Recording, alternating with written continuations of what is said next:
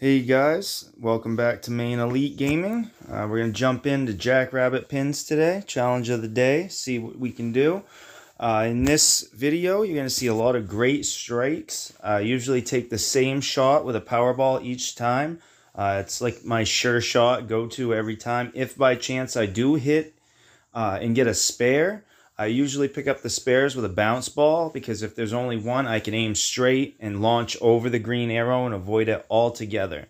Um, there's a lot of great shots in this video. Make sure to watch till the end. Uh, and if you haven't subscribed yet, make sure to subscribe and hit the bell. I upload almost daily, uh, as well as many other games. Uh, and to make things a lot easier, I have moved some of my playlists around and added some, so now it's easier to get at my videos. I actually have, I believe, 200 or so videos started at the beta of the game till now. Uh, and I've gone in and added playlists for each alley, as well as the challenge of the day and some how-to videos. Uh, so that'll make it a lot easier for you to find what you're looking for. Uh, thanks for all the support. Uh, I'm glad that my videos have helped so many of you, and I hope they continue to help all the new players to the game. Thanks for watching, guys. Enjoy the video, and I'll see you next time.